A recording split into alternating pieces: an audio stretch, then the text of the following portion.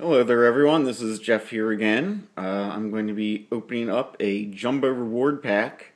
I earned this Jumbo Reward Pack completing the Bronze Detroit Lions collection. Patience paid off as I just waited for somebody to finally stick a Dylan Gandy out at the default 100 bid 150 buyout, and I quick snatched him up and got him. So uh, let's take a look and see what I got. Maybe I actually got something good.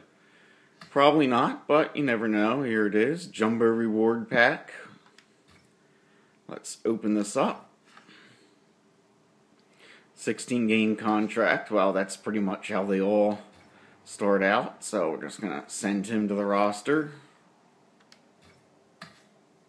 Pigpen, uh, well, I know I can at least sell it for probably around a thousand, though I really wish they would stop putting these red collectibles in that I've long since had any use for. So again, we'll just put them in the roster so I can sell them off later. Uh, 12th man, ugh. Again, one of these stupid collectibles, but you always do get premium collectibles in here, or at least they call them premium. Send that one to the roster. So we got here 32 game contract. That's pretty nice. I don't have any complaints about that. I have a few people that could certainly make use of it. Um, yeah, 78 Glover Quin. Boy, I don't know who he is. I've never seen him.